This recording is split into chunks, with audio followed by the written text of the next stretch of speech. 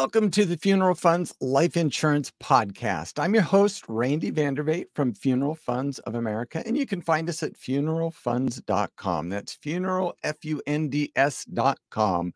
Whether you're interested in term life, whole life, mortgage protection, annuities, disability, business continuation, or final expense life insurance, we have you covered. Our team of experienced professionals will guide you through the complexities of insurance products to help you make an informed decision. So, in this podcast, I'm going to be discussing do you need mortgage protection insurance? Now, a lot of people get confused by mortgage protection insurance and something called PMI, private mortgage insurance vastly different products. Let me give you a very simplified and unrealistic explanation of, of what, what PMI is. And it's unrealistic because I'm going to use a home value of $100,000 because it's easy math. Pretty hard to buy a $100,000 home these days, but it's easy math. So if when you bought your $100,000 house, if you put $20,000 down, uh, you would only be financing 80% of the actual home value. If that's the case, they the the mortgage company won't charge you PMI. They won't force you to get private mortgage insurance. Now, if you only put $10,000 down and now you've got a $90,000 mortgage, they are going to force you. You cannot opt out of it. They will force you to take private mortgage insurance. And it doesn't protect your family, your loved ones, your spouse, your children in any way. It protects the mortgage company.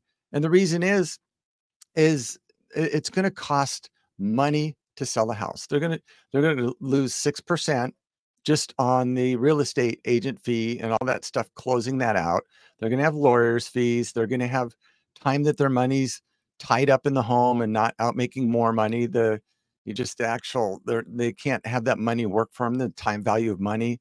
There's a number of things. And if you only put down $10,000 and you you default on the mortgage, they're going to be behind. They're going to be behind. The the home value is going to be 90,000 and they're to it's going to cost more than $10,000 to sell the house and get everything taken care of and they will lose money. So they make you take insurance out to protect them in in case something like happens. Now you, you might be saying, well, why 20%?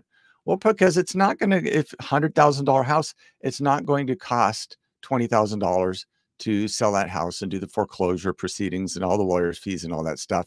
And now they can at least get their money out of it.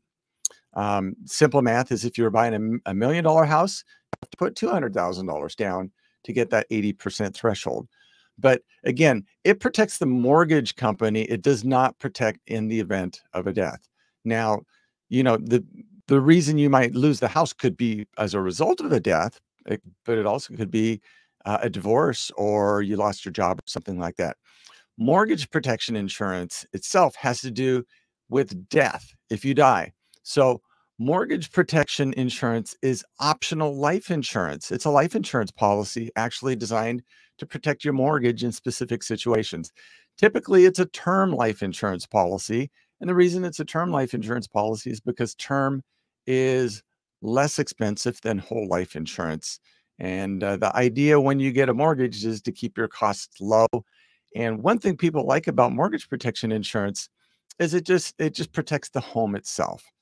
And think about it: if if you're if you're married uh, or in a relationship, you've got kids or something like that, and God forbid something did happen to you one day and you don't make a home, most people would want to make sure that their their family and loved ones aren't uprooted and you know in the middle of an already emotionally turbulent time uh, with tragedy just uh, everywhere around at that point and have them lose the house. You know you just they don't want tragedy be to be compounded so when does you know when does mortgage protection make sense well it depends on your financial situation so if you've got a substantial amount of savings or an investment that may be kind of already acting as your safety net uh, in unforeseen circumstances. The, ch- the challenge with that is life happens, right? So, you know, maybe you are in an accident and, you know, you've got a bunch of medical bills or you get sued or something like that, any number of things, that money can go away pretty quickly. And there's your little nest egg to protect the, the home. So, in that situation, a lot of people just say, hey, you know, for a few dollars or whatever dollars it is a month to get a mortgage protection policy to make sure that my mortgage is paid off, God forbid something happens like that, then uh, you know, to me, it's worth it to make sure my family is going to have a home to stay in. So, um, also, if you've got a five hundred thousand dollar mortgage, it doesn't always mean that you need to have a five hundred thousand dollar mortgage protection plan. And the reason is, is let's say you've got uh, yourself and a spouse or a partner, and your equal incomes, and God, God forbid, one of you passes away, you may not need the entire mortgage paid off. It would be really cool, right? It'd be really cool if it did. But if if you guys were uh, gals or guys or gals were, you know, struggling a little bit, kind of, you know, month to month, like so many people in America, maybe maybe you just take out mortgage protection for half the mortgage, and then what happens if if one of you passes away, the other can use that money to pay off half the mortgage and then refinance it down. Now the mortgage payment's cut in half and they should be able to stay in the house.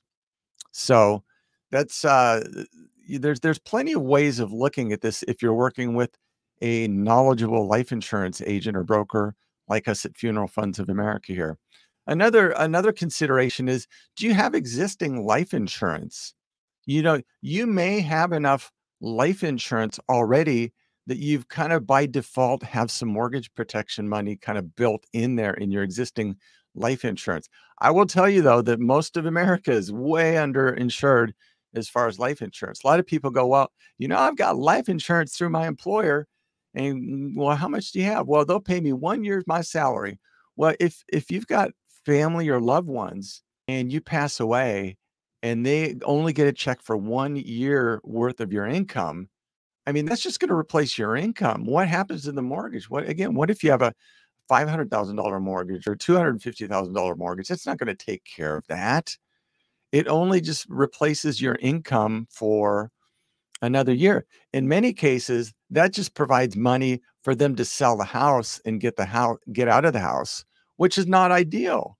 You know, most people don't want to be uprooted out of a house that you've got all the memories and everything, and that you work together most people would rather have that house protected and you could stay in that house and be reminded constantly of the love that that person had for you that they actually protected and provided for you so that when god forbid that day came you'd be able to keep the house so mortgage protection works terrifically to protect mortgage and we can we can split it up in any number of different directions whether we, whether we do the whole mortgage or we do part of the mortgage or whether we just look at ramping everything up and bundling everything up in a larger life insurance plan, and we can help you out with that as well.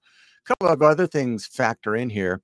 Uh, you know, employment and health stability. If you've got a good, secure job, and you know the chances of you defaulting on that mortgage may be lower, but just remember, if you've got a job, you're working for somebody else, and you don't call the shots. Now, if you own a company you call more of the shots, but you accept more of the risk too, right? So businesses go out of business all the time, and most people just want to make sure that they keep the house. The other thing is uh, stability of health, right? None of us, absolutely none of us knows what's going to happen 20 years from now or 10 years, much less than 10 or 20 seconds from now. And life changes in the blink of an eye. And having this insurance in place just provides the peace of mind that God forbid when the worst does come to visit a family that the mortgage is going to be paid for or paid down and then can then be refinanced to a manageable level. Now, some other things factor in here too, uh, kind of mortgage terms and conditions. So sometimes mortgages have built-in protection options, like maybe a disability, job loss protection, maybe make the payments in a little bit. But those are typically just temporary things. You need to review those, have a really good understanding of those. Sometimes uh, in the mortgage companies will offer some insurance that will pay out in a death, and it's super it's super affordable, meaning it's super cheap, but it's also super cheap insurance. It's accidental death insurance, and you know the chances of you dying in an accidental death are fairly small um, you know, sometimes that insurance can be very affordable, and the peace of mind just from accidental can can be terrific. Uh, we can help you out with that as well. but most people understand that the biggest threat out there is going to be it's it's going to be some sort of medical or health related cause of death. And most people don't just die instantly on the spot. A lot of people die after a prolonged medical medical problems or challenges or anything like that and they're in the hospitals and stuff like that. And there's also a lot of medical bills. So you can use that life insurance not only protect the medical bills, but make sure because if you're married, then uh, the bills of one partner are going to have to be paid by the other partner who's going to be around and living even after the other one's passed away. So having some life insurance money to not only protect the mortgage, but also any other expenses. And then the last thing to consider is kind of just your risk tolerance and kind of, you know, how well you want to sleep at night, maybe kind of that peace of mind. So some people just are are willing to risk it and they, don't they don't kind of really care about the the ramifications or what happens to people after they're gone. They kind of live in the moment. Uh, some people would say that's kind of selfish, and I, I, would imagine that you know the the spouse or the partner of those type of people would like to see see a change in them that you know actually considers their needs after they're gone instead of just one person's temporary needs. So, yeah, mortgage protection insurance is really critical for so many folks. With so much of America living paycheck to paycheck, it, it, it's if you miss one or two payments, the house is probably gone for most folks. So mortgage protection can really help out there. One other thing, jumping back to the PMI, I just want to leave you with this because, um, you know, if you don't have, if you didn't put the 20% down, once your remaining mortgage amount is 80% of the total value of the home, then you can cancel that PMI. And think about that. We've seen that in a lot in the real estate market that home values have gone up just like exponentially. So you may have only put $10,000 down and theoretically your home could go up in value another $10,000 within 4 to 6 months and now you would meet that 80 80% threshold. Now you can request they cancel the PMI and now that you're not paying that PMI, you can actually get affordable mortgage protection insurance that's going to protect your house for the rest of your life. And it doesn't matter if you've got a 10 year mortgage or a 15 year mortgage or a 30 year mortgage. Uh, you know, you, you can get all of those coverage amounts in term life insurance depending on your age. So there's so mortgage protection is really a, an exciting one, uh, I guess, from an insurance standpoint, uh, in that there's so many different ways to handle it and get protection and fit it within people's budgets that it's almost a no-brainer in in almost every case for folks. So there you go. That's my thoughts on do you need mortgage protection insurance? My name is Randy VanderVaate, and I hope this podcast has been helpful to you. Funeral Funds of America can help you qualify for first day coverage or benefits at funeralfunds.com. That's funeral, F U N D S.com. And our phone number is 888 862 9456. We will be blessed to help you with this in the future. Until that day comes, stay safe, take care, and have a nice day. Bye bye.